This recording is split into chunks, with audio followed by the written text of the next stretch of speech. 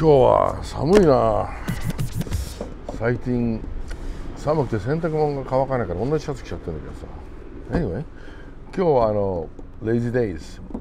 勝手に連動企画もう一回やりましょうか。Are you ready to go? And it's Gene Clark. Here we go!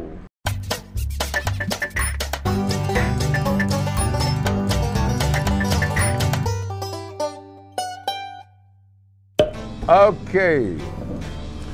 実はあの今日はもうとっくに亡くなっちゃった方なんですけどジーン・クラークっていう人のちょっと話しようかなと思って。ジーン・クラークっていうのはもともと The Birds っていうバンドのオリジナルメンバーであのロジャー・マギン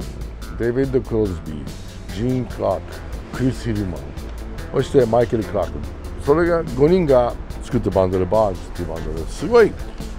やっぱしビートルズに対応で対抗できるバンドがやっとアメリカでできたって感じだったねバーズ。でだけどビートルズと違ってメンバーがちょっといつも仲悪かったみたいで続かなかったんだよね残念ながらでバーズはずっと続いてんだけどいろんなメンバー変わってすごいメンバー入ってるんだけどオリジナル5人のメンバーの時に出したアルバムはなんか本当何枚しかないんだよ3枚かねでどんどんどんどん変わっていっちゃったんだけどじゃあここでねジーン・クラークの話しましょう。Alright で彼は64年から66年か2年ぐらいしかバーズいなかったんだよね。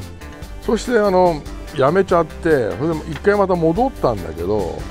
またすぐ辞めちゃっていろいろ理由があって彼が飛行機乗るのも嫌だっていうのもあったしあとはあのバンドのメンバーでデイビッド・クローズビーってすごい難しい人がいたからよくその人と揉めてなんかで彼は一番いい曲書いてたのは彼だってよく言われるんだよね。だバーズはボブ・ディランの曲をカバーしてすごい有名になったんだけどジーン・クラークのオリジナルの曲がすごい良かった。それで最初ソングライターとして認められたんだ。バーズに入る前は彼はあのニュー・クリスティ・ミンストレルズっていうちょっとフォークロックみたいなバンドにも入ったことあって。でも自分の曲を歌いたいからその人辞めちゃバーズそのそのバンド辞めてバーズに入ったんだよね。でバーズの場合はあのあんまり彼はギターを弾けたのにほとんどただボーカルだけだったんで、ね、あのライブなんかやると彼はボーカルだけだったんだ。ハーモニーも歌えるしメインも綺麗に歌えるから。でもギターもちゃんと弾けたんだよ。でもデイビッド・クローズビーがお前のギター下手だからやめろなんていうそういう意地悪なこと言われたみたいで。デイビッド・クローズビーすごい性格悪いように聞こえるんだよね。でもこれをデイビッド・クローズ見たらちょっとこう来てあのインタビューさせてください anyway じゃあここでバーズで彼が書いた曲ですごいヒットしたやつ。I feel a whole lot better The reason why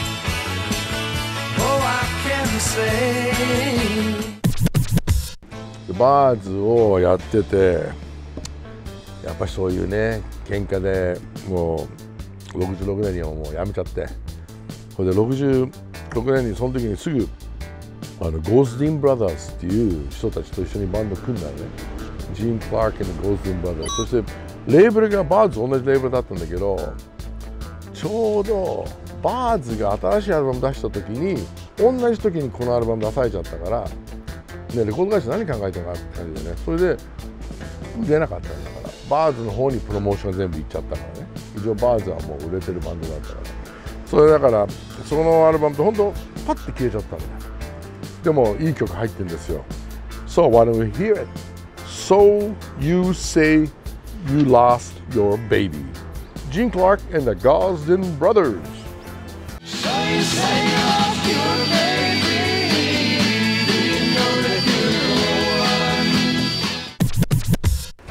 そして今度は彼はあのこのバンドもね売れなかったからすぐ辞めちゃって。そして今度は Dillard and Clark Expedition っていうバンドを作るんですよ。ダグ・ディラードっていうマンドリンプレイヤーかな。ブルーグラスの人たちと一緒にバンドを作って2枚出したんだけど1枚目はジーンの曲がたくさん入ってたけど2枚目の時はもうジーンのだんだん控えめになっちゃってちょっと彼はアルコールきすぎでちょっと問題になってて。それで2枚しかないんだけどその1枚の中にね「Train Leaves Here This Morning」って曲が入ってる。I lost ten points just for being in the right place. それは実はイーグルズのデビューアルバムの B 面の1曲目になったんだよね。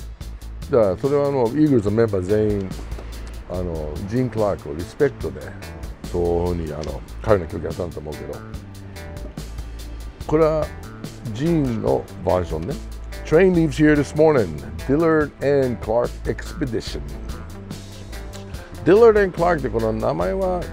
あのルース・ン・クラークにかけてるのね。ルース・ン・クラーク・エクスペディションっていうのはアメリカですごい有名な東から西の方にあのアメリカの地図を作るためにカヌーで旅してたルース・ン・クラーク・エクスペディションってあるんだよ、ね、それは1700年代かなそうやってアメリカどういう国かっていうのをこうやって川をたど,、ね、たどってこうやって探しに行ったそれで地図を書いて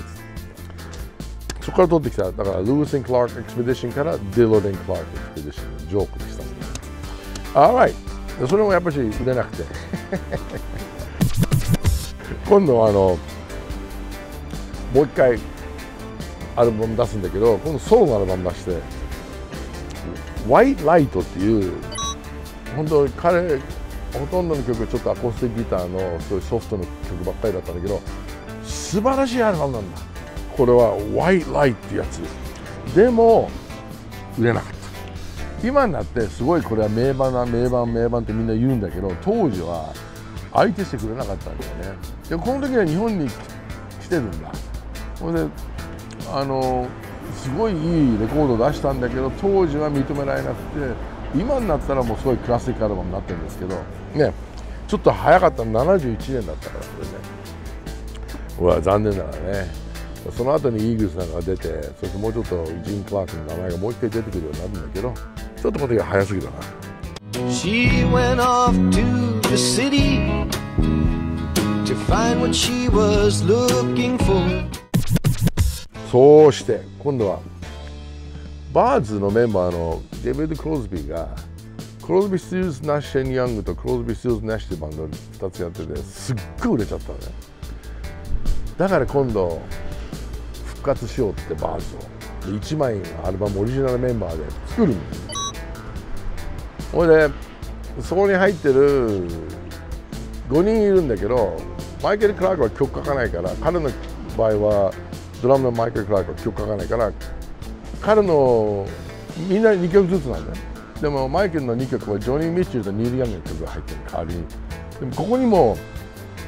にこのアルバムで一番いい曲 2, 2曲は両方ともジーン・クラークの曲だよね「Changing Heart」っていうのと「フルサークル」っていう Funny how the circle turns around. First you're up, でもこれは彼もソロでもやってる曲なんだけどもうすごくいい曲でこの「フルサークル」は僕はバーズの本当好きな曲の一つだな。でこの復活は1回で終わっちゃったの。あみんなまた仲悪いから 解散になっちゃうんだけど一応あのまあまあレコード作ったけど彼の2曲は素晴らしいと思います。ここでもう1曲ねあの彼の曲かけたいのはあのバーズのメンバーのロジャー・マギンとクリス・ヒルマンとサンジン・クラーク3人でマギン・クラーク・ヒルマンってバンドを作るそれであのツアーなんかするんだけどそこもまた2枚作るんですけど1枚目の時はちゃんとジーンがたくさん曲書いていろんな参加してるんだけど2枚目の時にはまたジーンはちょっとアル中でねちょっとダメになっちゃってあんまり曲があんまり参加してない。だからちょっと残念なんだけど。えーその1枚目の方から「ロングロングタイム」で聴きましょう。